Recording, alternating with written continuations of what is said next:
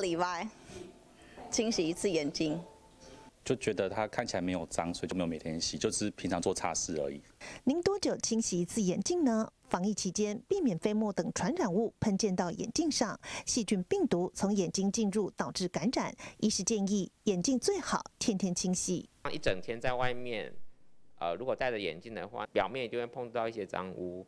那甚至在跟人家讲话的时候，也也会可能会有飞沫的喷溅。而眼镜的清洁消毒方式，切记不要使用酒精擦拭。因为我们镜片有镀膜，其实酒精对镜片并不是这么的好，所以其实呢，正确的就是说，你用那种类似像洗碗巾这种有一点呃界面活性剂，然后用呃干净，就是用水。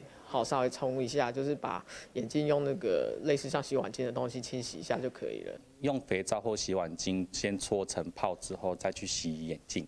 生活忙碌，您也常忽略掉清洗眼镜吗？每天一次，短短几分钟，养成好习惯，也是保护健康的方式之一。大新闻黄景李月维台中报道。